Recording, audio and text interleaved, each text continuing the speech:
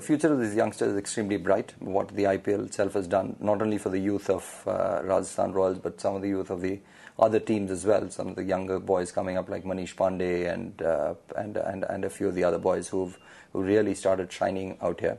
Uh, is that uh,